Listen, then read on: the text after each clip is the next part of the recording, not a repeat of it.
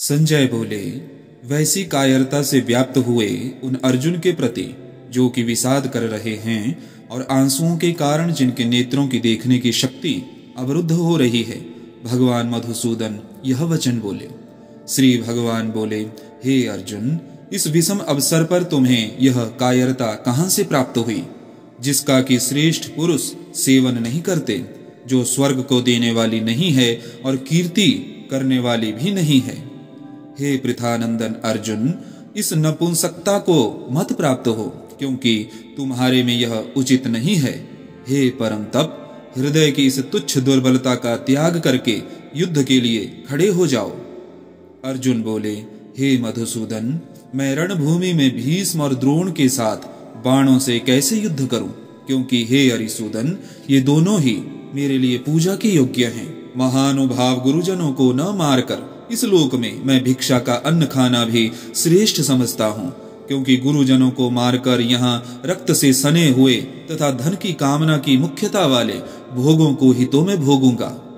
हम यह भी नहीं जानते कि हम लोगों के लिए युद्ध करना और न करना इन दोनों में से कौन सा अत्यंत श्रेष्ठ है, अथवा हम उन्हें जीतेंगे या वे हमें जीतेंगे जिनको मारकर हम जीना भी नहीं चाहते, वे ही धृतराष्ट्र के संबंधी हमारे सामने खड़े हैं। कायरता रूप दोष से तिरस्कृत स्वभाव वाला और धर्म के विषय में मोहित अंतकरण वाला मैं आपसे पूछता हूँ कि जो निश्चित कल्याण करने वाली हो, वह बात मेरे लिए कहिए।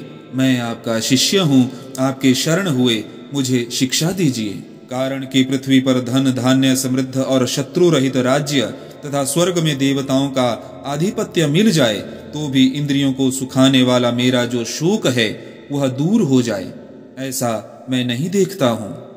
संजय बोले, हे शत्रुतापन धृतराष्ट्र, ऐसा कहकर निद्रा को जीतने वाले अर्जुन, अंतर्यामी भगवान गोविंद से मैं युद्ध नहीं करूँगा। ऐसा साफ़ साफ़ कहकर चुप हो गए। हे भरतवंशूद भव धृतराष्ट्र दोनों सेनाओं के मध्य भाग में विषाद करते हुए उस अर्जुन के प्रति हँसते हुए से भगवान ऋषिकेश यह वचन बोले। श्री भगवान बोले, तुमने शोक न करने योग्य का शोक किया है और विद्वता की बातें कर रहे हो, परंतु जिनके प्राण चले गए हैं, उनके लिए और जिनके प्राण नहीं गए हैं, उनके लिए पंडित लोग शोक नहीं करते।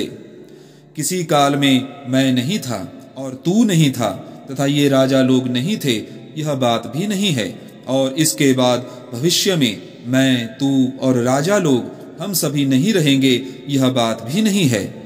देहधारी के इस मनुष्य शरीर में जैसे बालकपन, जवानी और वृद्धावस्था होती है, ऐसे ही दूसरे शरीर की प्राप्ति होती है। इस विषय में धीर मनुष्य मोहित नहीं होता। हे कुंती नंदन, इंद्रियों के विषय जड़ पदार्थ तो शीत, अर्थात अनुकूलता और उष्ण, अर्थात प्रतिकूलता के द्वारा सुख और दुख देने वाले हैं, तथा आने जाने वाले और अनित्य हैं। हे भरतवंशी अर्जुन, उनको तुम सहन करो। कारण कि हे पुरुषों में श्रेष्ठ अर्जुन सुख दुख में सम रहने वाले जिस बुद्धिमान मनुष्य को ये मात्रा स्पर्श अर्थात पदार्थ विचलित अर्थात सुखी दुखी नहीं करते, वह अमर होने में समर्थ हो जाता है, अर्थात वह अमर हो जाता है। असत का तो भाव अर्थात सत्ता विद्यमान नहीं है, और सत का अभाव विद्यमान नहीं है। तत्वदर्शी महापुरुषों ने इन दोनों का ही तत्व देखा, अर्थात अनुभव किया है। अविनाशी तो उसको जान जिससे यह संपूर्ण संसार व्याप्त है, उस अविनाशी का विनाश कोई भी नहीं कर सकता। अविनाशी जानने में न आने वाले और नित्य रहने वाले इस शरीरी के ये देह अंत वाले कहे गए हैं। इसलिए हे अर्जुन, तुम युद्ध करो। जो मनुष्य इस अविनाशी शरीर को मारने वाला मानता है और जो मनुष्य इसको मरा मानता है, वे दोनों ही इसको नहीं जानते। क्योंकि यह न मारता है और न मारा जाता है। यह शरीर न कभी जन्मता है और न मरता है, तथा यह उत्पन्न होकर फिर होने वाला नहीं है। यह जन्म रहित नित्य, निरंतर रहने वाला, शाश्वत और अनादि है। शरीर के मारे जाने पर भी यह नहीं मारा जाता। हे पृथानंदन, जो मनुष्य इस शरीरी को अविनाशी, नित्य जन्म रहित और अव्यय जानता है, वह कैसे किसको मारे और कैसे किसको मरवाए?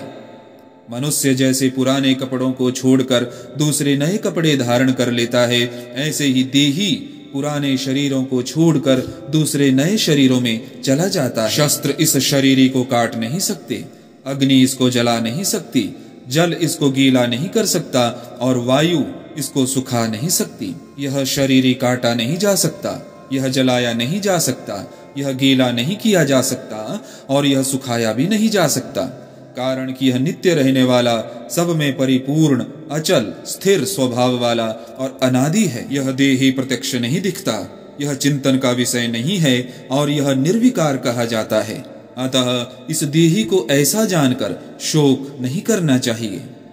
हे महाबाहो, अगर तुम इस देही को नित्य पैदा होने वाला अथवा नित्य मरने वाला भी मानो तो भी तुम्हें इस प्रकार शोक नहीं करना चाहिए।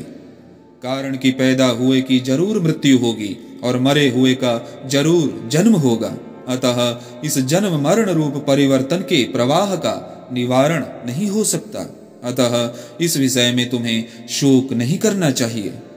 हे भारत, सभी प्राणी जन्म से पहले अप्रकट थे और मरने के बाद अप्रकट हो जाएँगे। केवल बीच में ही प्रकट दिखते हैं। अतः इसमें शोक करने की बात ही क्या है? कोई इस शरीर को आश्चर्य की तरह देखता, अर्थात अनुभव करता है, और वैसे ही दूसरा कोई इसको आश्चर्य की तरह वर्णन करता है, तथा अन्य कोई इसको आश्चर्य की तरह सुनता है, और इसको सुनकर भी कोई नहीं जानता, अर्थात यह दुर्विजनीय है। हे भरतवंशोद भव अर्जुन, सबके देह में यह देही नित्य ही अवध्य है। इसलिए संपूर्ण प्राणियों के लिए, अर्थात किसी भी प्राणी के लिए, तुम्हें शोक नहीं करना चाहिए। और अपने क्षात्र धर्म को देखकर भी तुम्हें विकंपित, अर्थात कर्तव्य कर्म से विचलित नहीं होना चाहिए, क्योंकि धर्ममय युद्ध से बढ़कर क्षत्रिय के लिए दूसरा कोई कल्याणकारक कर्म नहीं है। अपने आप प्राप्त हुआ युद्ध, खुला हुआ स्वर्ग का दरवाज़ा भी है। हे पृथानंदन वे क्षत्रिय बड़े सुखी अर्थात भाग्यशाली हैं, जिनको ऐसा युद्ध प्राप्त होता है। अब अगर तू यह धर्ममय युद्ध नहीं करेगा तो अपने धर्म और कीर्ति का त्याग करके पाप को प्राप्त होगा। और सब प्राणी भी तेरी सदा रहने वाली अपकीर्ति का कथन अर्थात निंदा करेंगे। वह अपकीर्ति सम्मानित मनुष्य के लिए मृत्यु से भी बढ़कर दुखदायी होती है। तथा महारथी लोग तुझे भय के कारण युद्ध से हटा हुआ मानेंगे।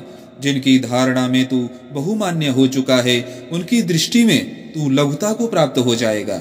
तेरे शत्रु लोग तेरी सामर्थ्य की निंदा करते हुए बहुत से न कहने योग्य वचन भी कहेंगे। उससे बढ़कर और दुख की बात क्या होगी?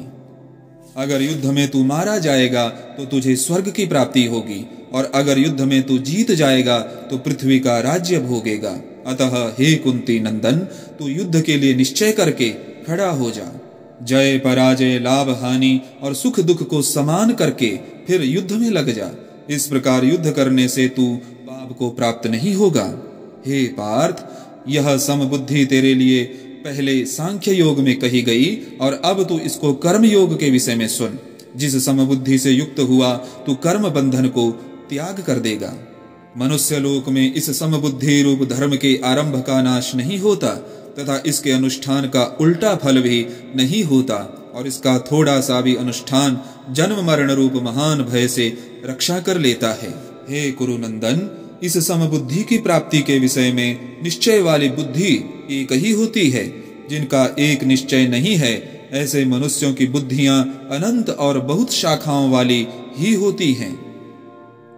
हे पृथानंदन, जो कामनाओं में तन्मय हो रहे हैं, स्वर्ग को ही श्रेष्ठ मानने वाले हैं, वेदों में कहे हुए सकाम कर्मों में प्रीति रखने वाले हैं, भोगों के सिवाय और कुछ है ही नहीं, ऐसा कहने वाले हैं, वे अविवेकी मनुष्य, इस प्रकार की जिस पुष्पित, अर्थात दिखाऊ शोभा युक्त वाणी को कहा करते हैं, जो कि जन्म रूपी कर्म फल को देने वाली है, तथा भोग और ऐश्वर्य की प्राप्ति के लिए बहुत सी क्रियाओं का वर्णन करने वाली है। उस पुष्पित वाणी से जिसका अंतकरण हर लिया गया है, अर्थात भोगों की तरफ़ खींच गया है, और जो भोग तथा ऐश्वर्य में अत्यंत आसक्त हैं, उन मनुष्यों की परमात्मा में एक निश्चय वाली बुद्धि नहीं होती। वेद तीनों गुणों के कार्य का ही वर्णन करने वाले हैं। हे अर्जुन, तू तीनों गुणों से रहित हो जा। राग, द्वेष आदि द्वंद्वों से रहित हो जा, निरंतर नित्य वस्तु परमात्मा में स्थित हो जा।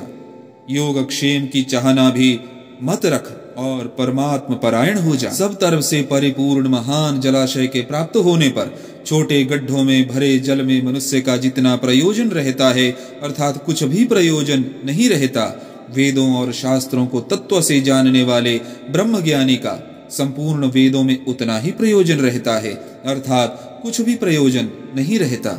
कर्तव्य कर्म करने में ही तेरा अधिकार है, फलों में कभी नहीं। अतः तू कर्म फल का हेतु भी मत बन और तेरी कर्म न करने में भी आसक्ति न हो। हे धनंजय, तू आसक्ति का त्याग करके सिद्धि असिद्धि में सम होकर योग में स्थित हुआ, कर्मों को कर, क्योंकि समत्व ही योग कहा जाता है। बुद्धि योग अर्थात समता की अपेक्षा सकाम कर्म दूर से अत्यंत ही निकृष्ट हैं। अतः हे धनंजय तो बुद्धि अर्थात समता का आश्रय ले, क्योंकि फल के हेतु बनने वाले अत्यंत दीन हैं। बुद्धि अर्थात समता से युक्त मनुष्य यहाँ जीवित अवस्था में ही पुण्य और पाप दोनों का त्याग कर देता है। अतः तू योग अर्थात समता में लग जा, क्योंकि कर्मों में योग ही कुशलता है। कारण की समता युक्त बुद्धिमान साधक कर्मजन्य फल का, अर्थात संसार मात्र का त्याग करके जन्म रूप बंधन से मुक्त होकर निर्विकार पद को प्राप्त हो जाते हैं। जिस समय तेरी बुद्धि मोह रूपी दल दल को भली भांति तर जाएगी, उसी समय तू सुने हुए और सुनने में आने वाले भोगों से वैराग्य को प्राप्त हो जाएगा। जिस काल में शास्त्रीय मतभेदों से विचलित हुई, तेरी बुद्धि निश्चल हो जाएगी और परमात्मा में अचल हो जाएगी, उस काल में तू योग को प्राप्त हो जाएगा। अर्जुन बोले, हे केशव, परमात्मा में स्थित स्थिर बुद्धि वाले मनुष्य के क्या लक्षण होते हैं? वह स्थिर बुद्धि वाला मनुष्य कैसे बोलता है, कैसे बैठता है और कैसे चलता है? अर्थात, व्यवहार कैसे करता है? श्री भगवान बोले, हे पृथानंदन, जिस काल में साधक मन में आई संपूर्ण कामनाओं का भली भांति त्याग कर देता है और अपने आप से अपने आप में ही संतुष्ट रहता है, उस काल में वह स्थिर बुद्धि कहा जाता है। दुखों की प्राप्ति होने पर जिसके मन में उद्वेग नहीं होता और सुखों की प्राप्ति होने पर जिसके मन में स्प्रीहा नहीं होती, तथा जो राग, भय और क्रोध से सर्वथा रहित हो गया है वह मननशील मनुष्य स्थिर बुद्धि कहा जाता है। सब जगह आसक्ति रहित हुआ जो मनुष्य उस उस शुभ अशुभ को प्राप्त करके न तो प्रसन्न होता है और न द्वेष करता है, उसकी बुद्धि स्थिर है। जिस तरह कछुआ अपने अंगों को सब ओर से समेट लेता है, ऐसे ही जिस काल में वह कर्म योगी इंद्रियों के विषयों से इंद्रियों को सब प्रकार से हटा लेता है, तब उसकी बुद्धि स्थिर हो जाती है। निराहारी अर्थात इंद्रियों को विषयों से हटाने वाले मनुष्य के भी विषय तो निवृत्त हो जाते हैं, पर रस निवृत्त नहीं होता। परंतु परमात्म तत्व का अनुभव होने से उस स्थित प्रज्ञ मनुष्य का रस भी निवृत्त हो जाता है, अर्थात उसकी संसार में रस बुद्धि नहीं रहती। कारण की हे कुंती नंदन, रस बुद्धि रहने से यत्न करते हुए विद्वान मनुष्य की भी प्रमथनशील इंद्रियाँ उसके मन को बलपूर्वक हर लेती हैं। कर्मयोगी साधक उन संपूर्ण इंद्रियों को वश में करके मेरे पारायण होकर बैठे, क्योंकि जिसकी इंद्रियाँ वश में हैं, उसकी बुद्धि स्थिर है। विषयों का चिंतन करने वाले मनुष्य की उन विषयों में आसक्ति पैदा हो जाती है, आसक्ति से कामना पैदा होती है। कामना से बाधा लगने पर क्रोध पैदा होता है क्रोध होने पर सम्मोह, अर्थात मूड भाव हो जाता है। सम्मोह से स्मृति भ्रष्ट हो जाती है। स्मृति भ्रष्ट होने पर बुद्धि, अर्थात विवेक का नाश हो जाता है। बुद्धि का नाश होने पर मनुष्य का पतन हो जाता है। परंतु वशीभूत अंतकरण वाला कर्मयोगी साधक, राग द्वेष से रहित, अपने वश में की हुई इंद्रियों के द्वारा विषयों का सेवन करता हुआ अंतकरण की निर्मलता को प्राप्त होने पर साधक के संपूर्ण दुखों का नाश हो जाता है और ऐसे शुद्ध चित्त वाले साधक की बुद्धि निस्संदेह बहुत जल्दी परमात्मा में स्थिर हो जाती है। जिसके मन इंद्रियाँ संयमित नहीं है, ऐसे मनुष्य की व्यवसायत्मिका बुद्धि नहीं होती और व्यवसायत्मिका बुद्धि न होने से उस अयुक्त मनुष्य में निष्काम भाव अथवा कर्तव्य परायणता का भाव नहीं होता। निष्काम भाव न होने से उसको शांति नहीं मिलती, फिर शांति रहित मनुष्य को सुख कैसे मिल सकता है? अशांति का मूल कारण कामना है। जब तक मनुष्य के भीतर किसी प्रकार की कामना है, तब तक उसे शांति नहीं मिल सकती। कामना युक्त चित्त सदा अशांत ही रहता है। कारण कि अपने अपने विषयों में विचरती हुई इंद्रियों में से एक ही इंद्रिय जिस मन को अपना अनुगामी बना लेती है, वह अकेला मन जल में नौका को वायु की तरह उसकी बुद्धि को हर लेता है। इसलिए हे महाबाहो, जिस मनुष्य की इंद्रियाँ इंद्रियों के विषयों से सर्वथा वश में की हुई हैं, उसकी बुद्धि स्थिर है। संपूर्ण प्राणियों की जो रात अर्थात परमात्मा से विमुखता है, उसमें संयमी मनुष्य जागता है। और जिसमें सब प्राणी जागते हैं, भोग और संग्रह में लगे रहते हैं वह तत्व को जानने वाले मुनि की दृष्टि में रात्रि है। जैसे संपूर्ण नदियों का जल चारों ओर से जल द्वारा परिपूर्ण समुद्र में आकर मिलता है, पर समुद्र अपनी मर्यादा में अचल स्थित रहता है। ऐसे ही संपूर्ण भोग पदार्थ जिस संयमी मनुष्य को विकार उत्पन्न किए बिना ही प्राप्त होते हैं, वही मनुष्य परम शांति को प्राप्त होता है। भोगों की कामना वाला मनुष्य शांति को प्राप्त नहीं होता। जो मनुष्य संपूर्ण कामनाओं का त्याग करके स्प्रिया रहित, ममता रहित और अहंता रहित होकर आचरण करता है, वह शांति को प्राप्त होता है।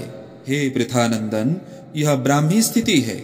इसको प्राप्त होकर कभी कोई मोहित नहीं होता। इस स्थिति में यदि अंतकाल में भी स्थित हो जाए तो निर्वाण अर्थात शांत ब्रह्म की प्राप्ति हो जाती है।